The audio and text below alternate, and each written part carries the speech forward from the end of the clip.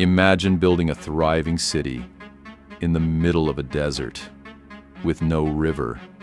Sounds impossible, right? But over 2,000 years ago, the Nabateans pulled it off. Welcome to Petra, the ancient desert city that turned dry rock into a water wonderland. Here's the trick. Petra didn't find water. They hunted it. Every drop of rare desert rain was captured. The Nabateans carved miles of hidden channels and built dams and underground cisterns, kind of like ancient plumbing.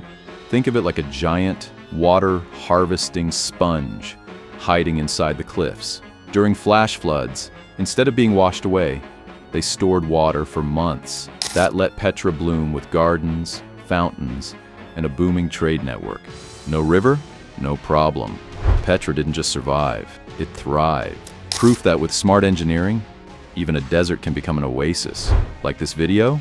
Hit that like button and explore more ancient secrets with us.